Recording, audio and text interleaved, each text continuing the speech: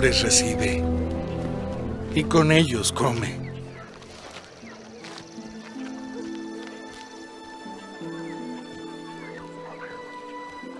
¿Quién de vosotros, si tiene cien ovejas, y se le pierde una de ellas, no deja las noventa y nueve en el desierto y va tras la que se le perdió hasta que la haya?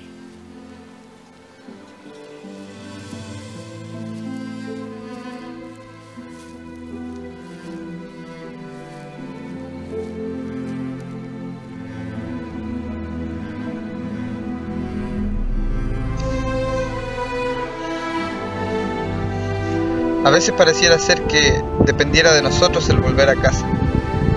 Que nos hemos perdido y no sabemos cómo encontrar el camino de vuelta. Y cada vez nos dañamos más y sentimos que estamos a punto de morir, tan agotados, tan cansados. Pero no tienes por qué cargar con ese peso. El pastor ha emprendido la búsqueda. Te está buscando. Y no se va a detener no se va a detener hasta que te encuentre. Va a luchar y se va a esforzar por buscarte y encontrarte, tomarte y sacarte de donde estás. Has intentado tantas veces salir, pero Él va en busca tuya. Clama, grita, para que Él pueda escucharte. Él te está buscando. No tienes que tú buscarlo a Él. Hoy vamos a estudiar la parábola del pastor perdido. Quiero que vean dos palabras que hay en el hebreo sobre buscar. Es bakach, que en el Strong es 1245 y significa esforzarse por encontrar, esmerarse, buscar con diligencia.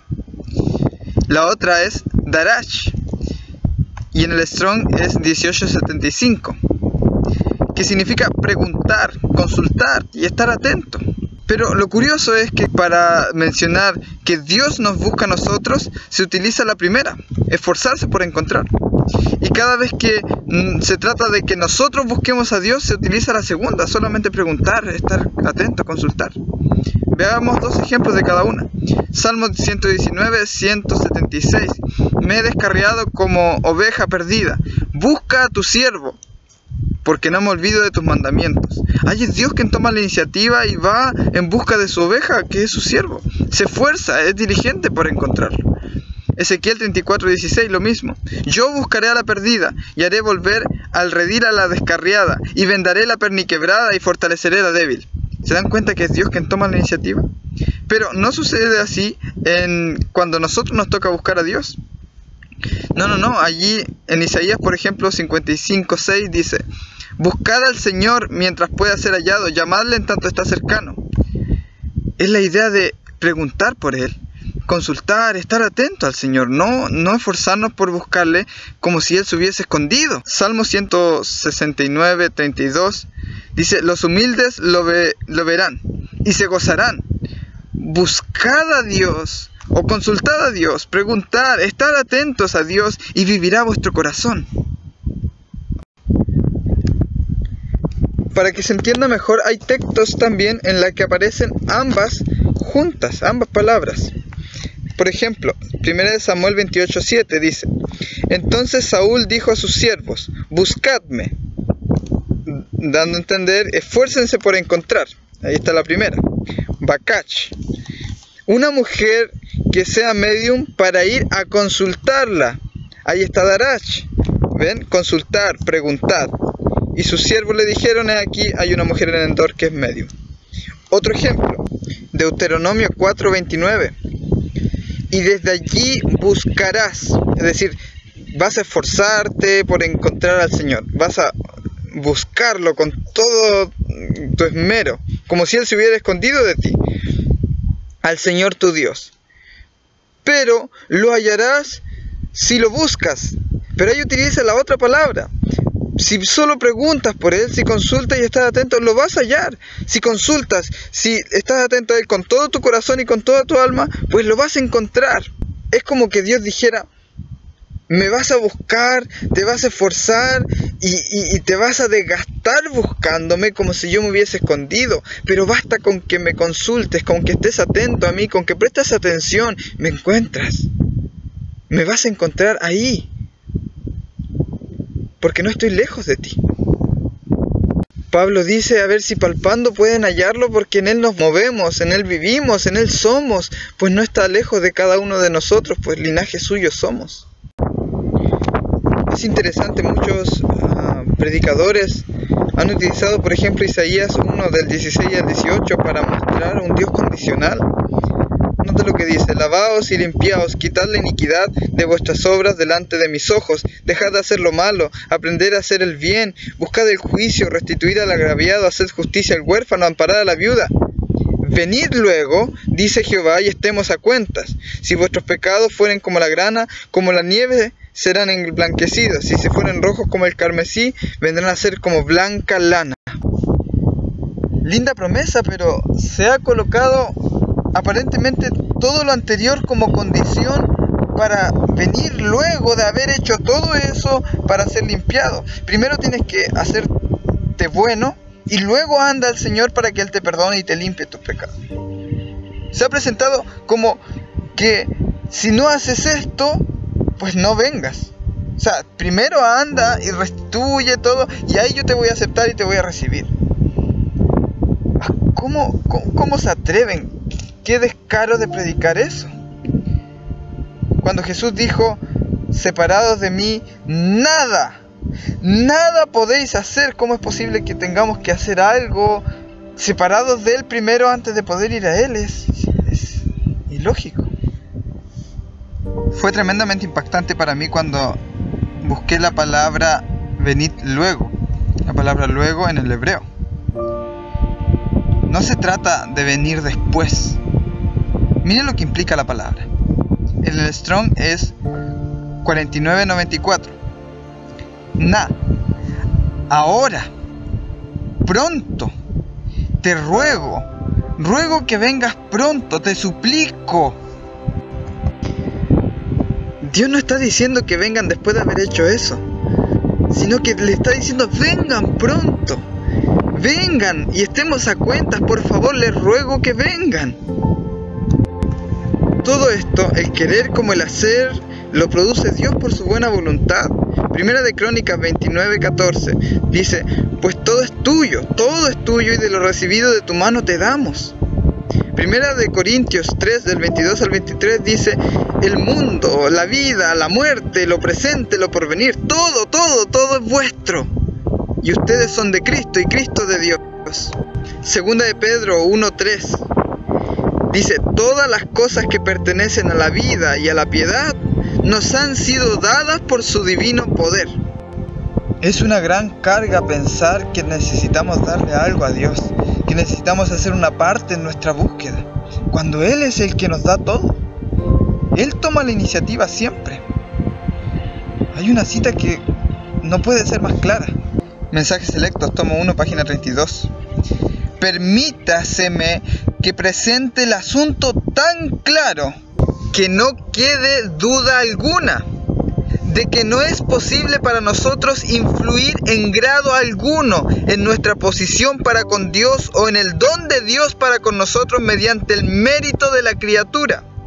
Pregunto yo, ¿cómo podré expresar el asunto tal como es?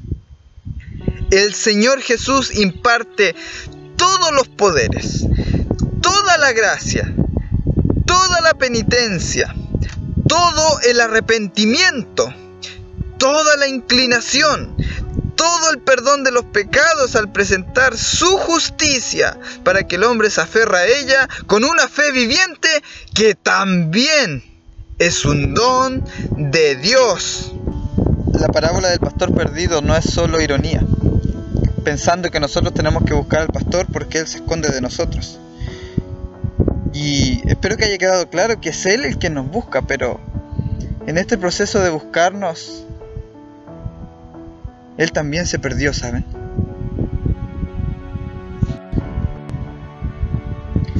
Juan 10:11 Yo soy el buen pastor. El buen pastor su vida da por sus ovejas. Él también se sintió perdido. Él también estuvo angustiado. El camino que tuvo que recorrer fue aterrador para poder encontrarnos, para poder encontrarte a ti.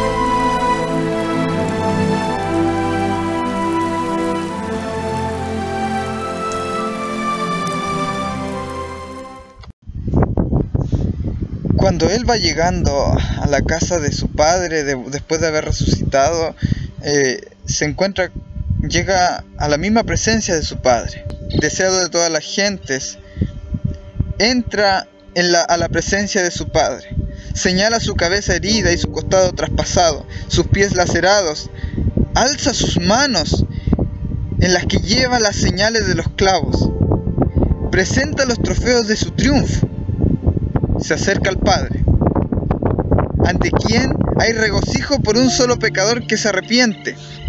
La misma expresión de la parábola de la oveja perdida. Los brazos del Padre rodean a su Hijo y se da la orden. Adórenlo todos los ángeles de Dios. No sé si se dieron cuenta, qué escena se parece esto? El padre abrazando a su hijo y diciendo, a los ángeles, adórenlo, este es mi hijo. Muerto era y ha revivido. Se había perdido y es hallado. Y comenzaron a regocijarse. ¿Sabe Jesús nos llevó a todos nosotros en él? No solo nos llevó al Padre, porque antes de llevarnos al Padre, Él tuvo que perderse con nosotros. Estuvo muerto y revivió la parábola del el Hijo Pródigo. El protagonista es Cristo.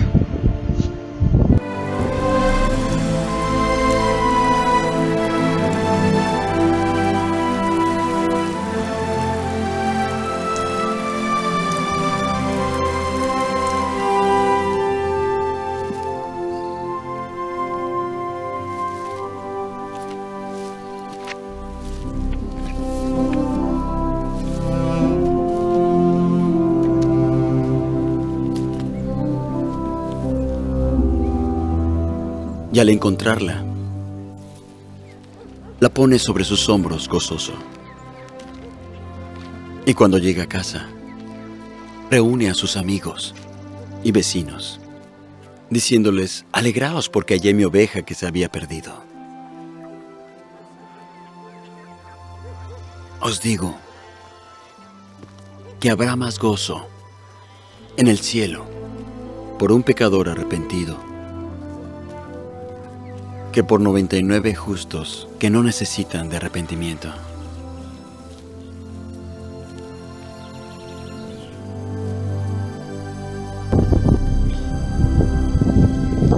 Aún y todo, la historia tiene un final feliz. Eh, termina la tristeza y, y comienzan a regocijarse. ¿Saben? Nehemías 8:10 nos dice, no estén tristes porque el gozo del Señor es nuestra fortaleza. Y, se ha presentado, tú tienes que esforzarte por encontrar a Dios, tienes que merarte en buscarlo, búscalo con toda tu fuerza. Es como si Dios se quisiera esconder de nosotros. Esfuérzate. El esfuerzo humano es necesario, se, se ha dicho. Esa es tu parte. ¿Sabe lo que nos dice Isaías 41:10? No temas que yo estoy contigo. No desmayes porque yo soy tu Dios que te esfuerzo. Él nos esfuerza, siempre te ayudaré, siempre te sustentaré con la diestra de mi justicia. Ahora el gozo del Señor es nuestra fortaleza. Salmo 51:12. Vuélveme el gozo de tu salvación y espíritu noble me sustente. Sofonías 3:7. Jehová está en medio de ti como poderoso Salvador. Se gozará sobre ti con alegría y callará de amor. Se regocijará sobre ti con cánticos de salvación. Así como piedras de fuego, presentaremos un tema que se llama el gozo de la salvación. El gozo del Señor, la alegría del pastor que encuentra su oveja, la salvación está relacionada con nuestra fortaleza. Esa es la, la fortaleza que nos da Dios, la alegría. Siempre está unido. Así que esperen el tema. Solo quiero adelantarles para terminar una cita. Review and Herald, 29 de marzo de 1870. Debemos saber que disfrutamos del favor de Dios, que Él nos sonríe y que somos sus hijos y estamos en una posición en la que Él puede tener comunión con nosotros y nosotros con Él. Ya no tienes que seguir dependiendo de ti para tu salvación. Ya no tienes que seguir dependiendo de tus fuerzas para encontrarte y tener comunión con Dios. No tienes que seguirlo buscando. Él te está buscando. Él te ha encontrado. Date la vuelta. Está ahí. Siempre estuvo ahí. Y al encontrarla, la pone sobre sus hombros gozoso. Y cuando llega a casa, reúne a sus amigos y vecinos, diciéndoles, alegraos porque hallé mi oveja que se había perdido.